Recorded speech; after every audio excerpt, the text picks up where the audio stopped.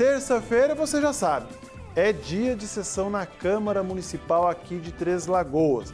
E claro que nós vamos te informar o que foi pautado na manhã desta terça-feira, porque a repórter Ana Cristina Santos acompanha todo esse setor político aqui em nossa cidade. Ana, muito bom dia. O que foi debatido hoje pela manhã aí?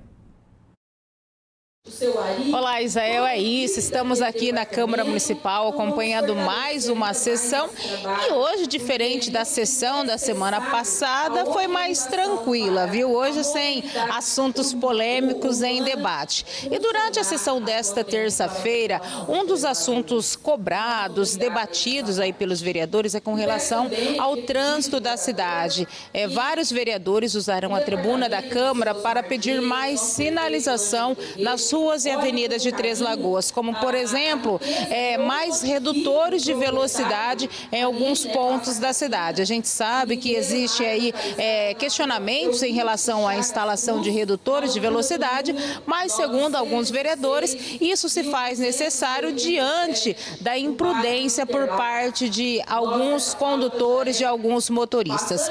Um outro assunto debatido também, cobrado aqui por alguns vereadores, é a respeito da iluminação pública em Três Lagoas. É, vereadores cobrando, inclusive, é, reparos na rede de iluminação pública em trecho da Avenida Antônio Trajano e também na Lagoa Maior. Segundo o vereador, tem trechos ali na Lagoa Maior que está às escuras, o que acaba dificultando para quem utiliza ali aquele espaço, gerando inclusive insegurança. A questão da saúde também foi pauta aqui na sessão da Câmara, alguns vereadores cobrando providências em relação à questão de exames, enfim, procedimentos que estão sendo demorados para acontecer em Três Lagoas. Então, foi algum dos assuntos debatidos. A questão do, do racismo também é, foi pauta por parte do vereador Nego Breno, ele que usou, a, a, ele que na verdade realizou na semana passada uma audiência pública